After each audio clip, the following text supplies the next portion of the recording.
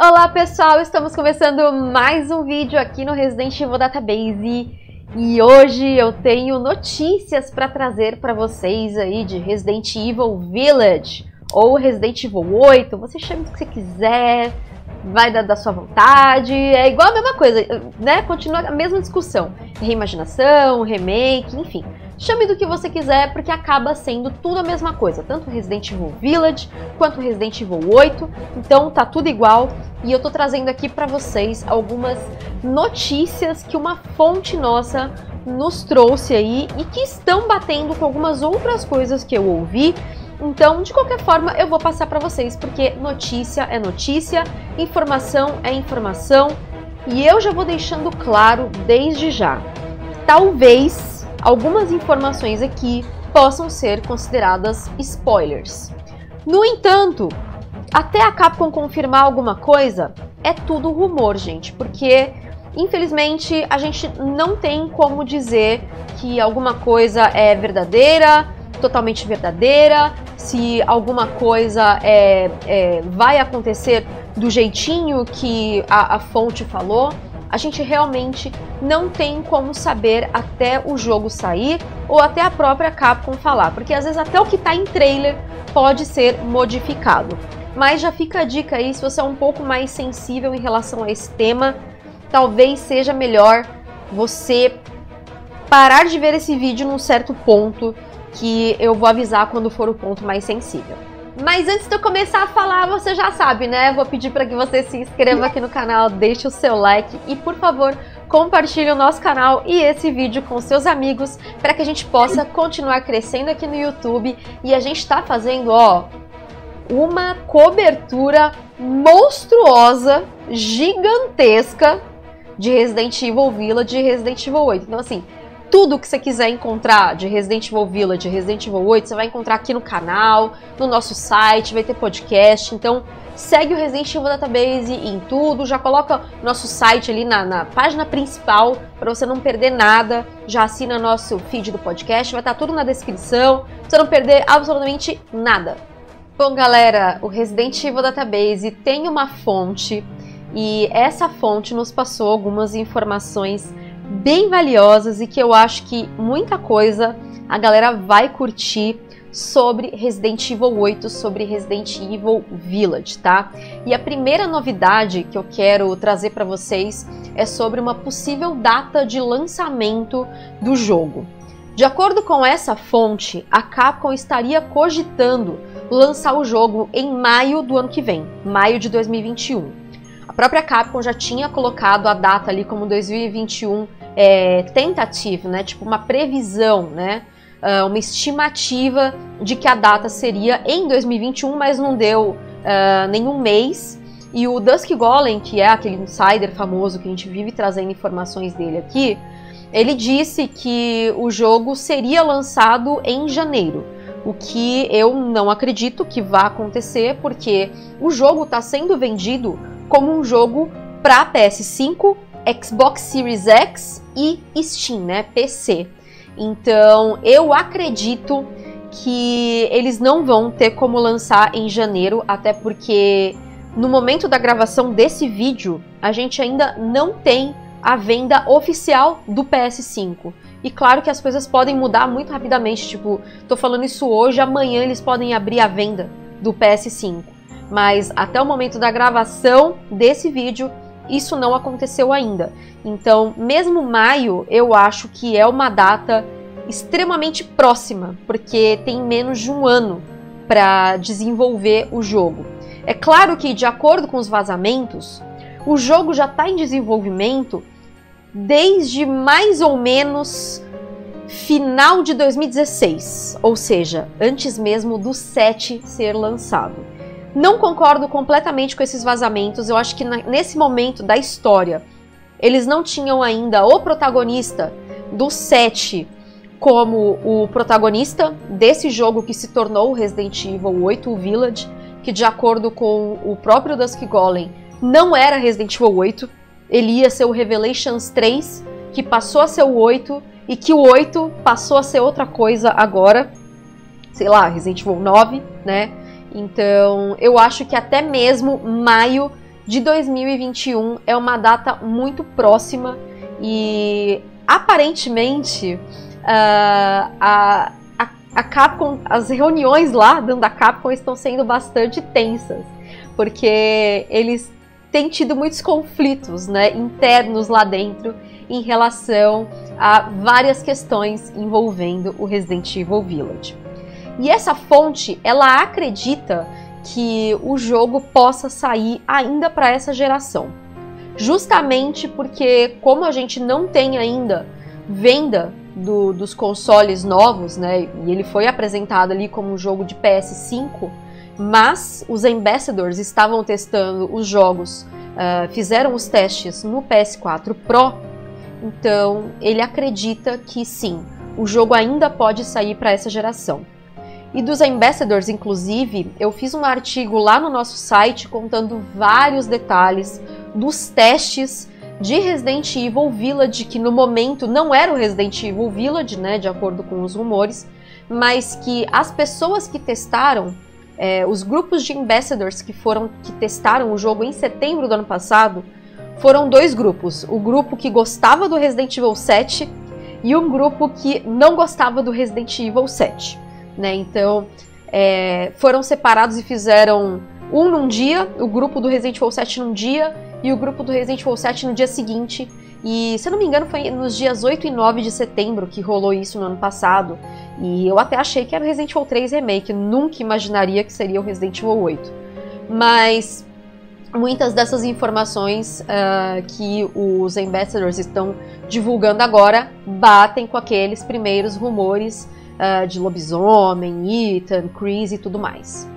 O desenvolvimento do Resident Evil 8, pelo que a fonte nos contou, anda bem atribulado. Então, aquela garota do trailer, de acordo com a nossa fonte, é realmente a Emily, o nome dela é Emily mesmo, só que parece que a Capcom está cogitando alterar não só o nome dela, não só de outros personagens também, mas até mesmo o design de, de personagens, talvez de criaturas. Uh, talvez para um, por causa de um upgrade de como era um Revelations 3 estar passando uh, pela reformulação para se tornar um Resident Evil 8. De acordo com o Dusk, eu conversei em particular com ele, ele acredita que é isso. Ele acha que a partir do momento em que eles pegaram esse jogo de menor orçamento, que era um Revelations 3, para deixar polido para a nova geração, o jogo tá passando, né, por essas transformações, é, essas mudanças bem drásticas. E uma das mudanças mais drásticas que aparentemente a Capcom ainda está cogitando nesse desenvolvimento do Resident Evil 8, porque o jogo continua em desenvolvimento, é a de que eles acham que lançar um jogo da R-Engine em primeira pessoa seria um desperdício. Então, de acordo com a nossa fonte, uh, a Capcom estaria sim cogitando de lançar Resident Evil Village, Resident Evil 8 em terceira pessoa, remodelar todo o jogo para que ele seja em terceira pessoa. E assim, apesar de tudo, apesar de estar tá muito próximo, e assim, a gente não tem mês de lançamento ainda, a gente não tem a data fixa ainda. A gente só vai ter mais informações do jogo em agosto, então isso abre margem para muita especulação do quão pronto está o jogo, se a build que o pessoal jogou era algo muito grande que já estava pronto, ou se eles esperaram para ter respostas desses ambassadors, para aí sim lançar, ver o feedback e começar a polir. Até porque, de acordo com o Yoshiaki Hirabayashi, que é o produtor do Resident Evil 2 Remake, quando ele veio para o Brasil, na Brasil Game Show de 2018, ele contou sobre o processo da R-Engine, que diz que facilita muito no desenvolvimento dos jogos.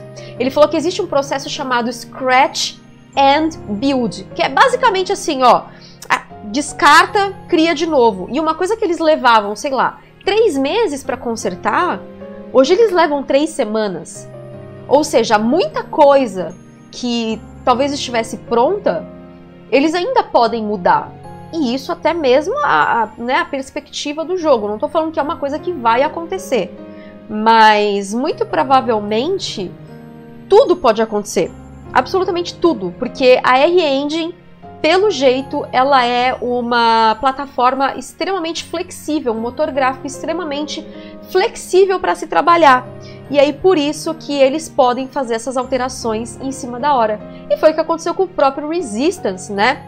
que a gente deu vários feedbacks quando o Resistance foi lançado, em, é, anunciado em setembro, fez testes em outubro, em eventos, em é, até na Tokyo Game Show e tudo.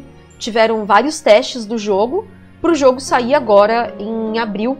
E mesmo assim deu tempo de alterar muitas coisas. Então eu acho que essa é uma coisa que a R-Engine permite que a Capcom faça, principalmente num jogo que nem data tem ainda de lançamento, uma data fixa e estabelecida ali. E que, né, eles também poderiam muito bem, sei lá, adiar. Mas, enfim, eles nem colocaram a data, certo? Então, muitas coisas ainda podem acontecer e muitas águas ainda vão rolar. E agora a gente vai para a parte mais sensível desse vídeo porque é um possível spoiler de história. Por que, que eu vou dizer possível?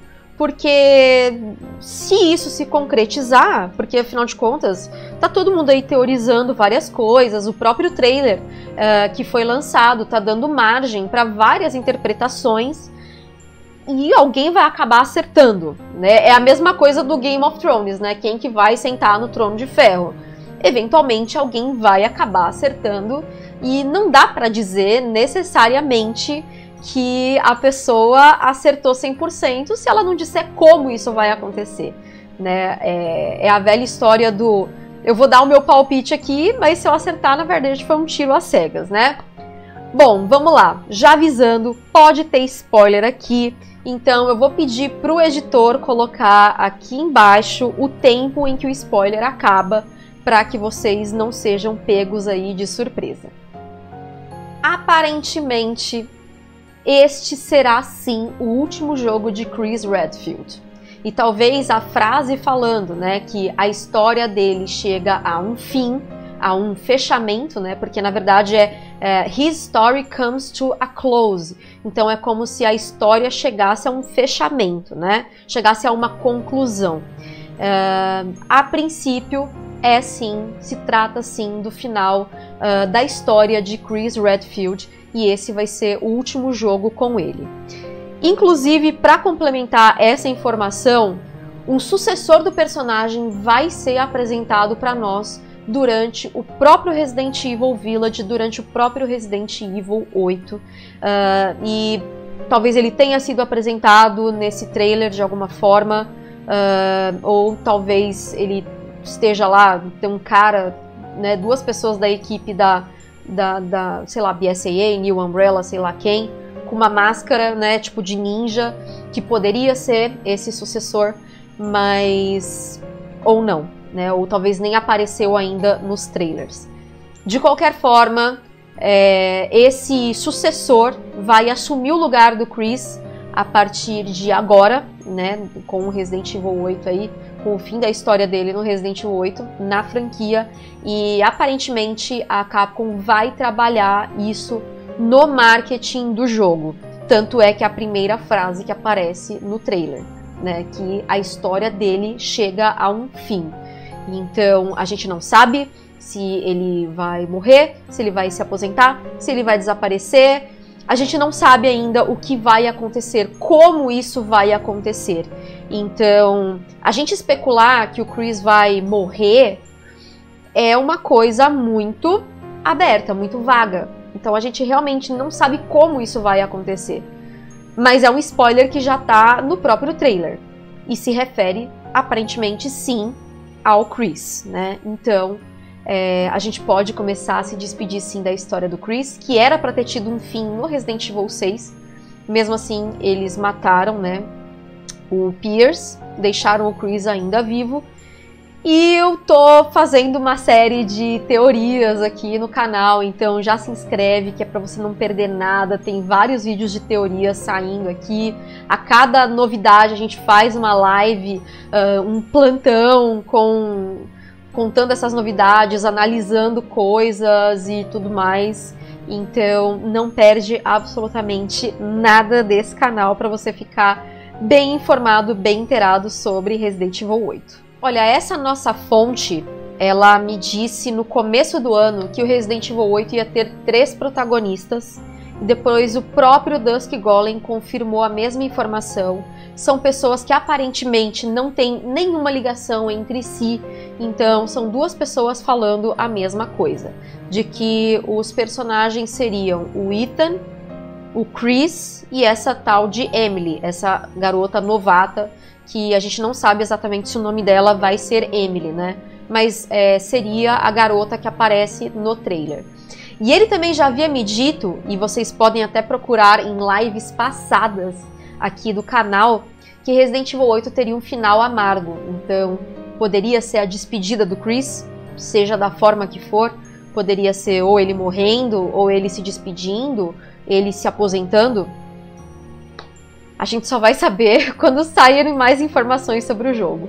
Mas eu acho que a fonte ela tem é, credibilidade e as peças estão aos poucos se encaixando. É um pouquinho de informação que a gente pega aqui, um pouquinho dali e as coisas vão se interligando. Bom, comentem aí embaixo o que, que vocês acharam de todas essas informações. Lembrando que nada aqui é confirmado até ou a Capcom falar ou até o jogo sair, gente. Porque durante o desenvolvimento de um jogo, muita coisa pode acontecer. Quer um exemplo?